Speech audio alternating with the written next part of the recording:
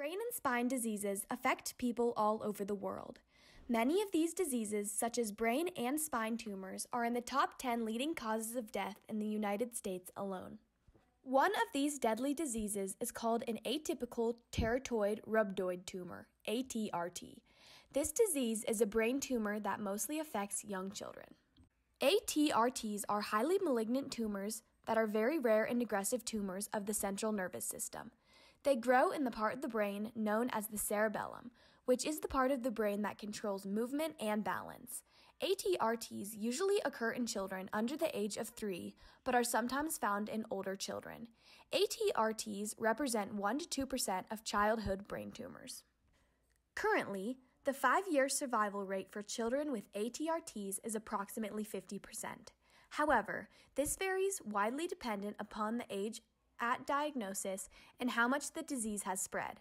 Children who are less than three years old have the worst prognosis with less than 10% chance of long term cure. Treatment depends on the size and location of the tumor, as well as the patient's age. Because of the aggressive nature of these tumors, most patients receive several types of treatment, which may include surgery, chemotherapy, and radiation. The first treatment for an ATRT is surgery if possible. The goal of surgery is to obtain tissue to determine the tumor type and to remove as much of the tumor as possible without causing more symptoms for the person. The surgeon removes part of the patient's skull, uses a needle to take out a sample of the tumor, and sends it to the laboratory. There, scientists examine the sample under the microscope. If cancer is confirmed, the surgeon continues to operate by taking out as much of the tumor as it is safe to remove. People with ATRTs usually receive further treatment after surgery. These treatments include radiation, chemotherapy, and or clinical trials. Chemotherapy uses powerful medicines to kill cancer cells or stop the cells from dividing. Chemotherapy has many side effects, including vomiting, hair loss, loss of appetite, fatigue, and fever. Treatments are decided by the patient's healthcare team based on the patient's age, remaining tumor after surgery, tumor type, and tumor location. Current advances in therapy have helped older children and children with tumors that can be completely removed have an improved survival. New therapy is being investigated in clinical trials. The goal is to increase the cure rates and improve survival in very young children there are two abnormal genes that result in an ATRT. Malignant rhabdoid tumors, including ATRTs, have a common abnormal gene. More than 95% of ATRTs are related to a change in the SMARCB1 gene and the SMARCA4 gene. The SMARCB1 and SMARCA4 genes are tumor suppressor genes. A tumor suppressor gene codes for a protein that stops the growth of tumor cells. When one of these genes is mutated, the protein is not made and tumor cells can continue to grow. The purpose of my medical device is to monitor the tumor suppressor genes explained above and to release proteins if it is identified that one of these genes has been mutated.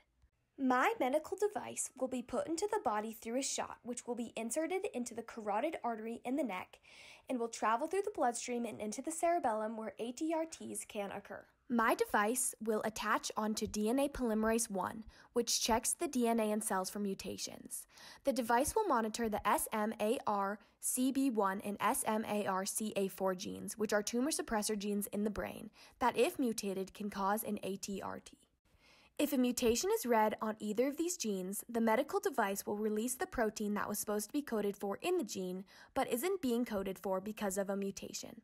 This protein will stop the growth of tumor cells, which is what these two genes are supposed to code for if not mutated.